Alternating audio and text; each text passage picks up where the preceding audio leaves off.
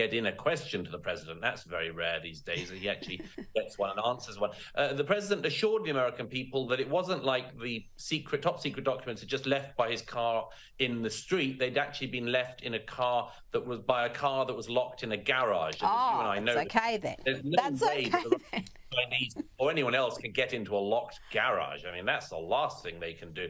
And of course, this was also in the house uh, where his son Hunter uh, was living. And of course, as we know, Hunter wouldn't ever be any uh, security uh, threat at all because he's always been in the right state of mind. So actually, I think that a lot of Americans think there's a double standard here. The FBI raided Melania Trump's closet, and uh, you know, uh, uh, day by day we discover Biden's people handing over top secret documents that just happen to be sitting by the car in the in the garage that the Chinese can't get into, but Hunter Biden can.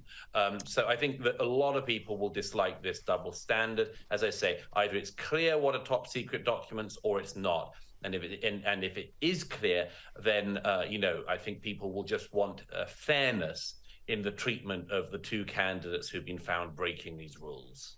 Absolutely. Unlike Donald Trump, uh, Vice President Biden wasn't able to declassify any of those top secret documents. Douglas Murray, always a pleasure. Thank you for joining me tonight. Pleasure as always. Thank you.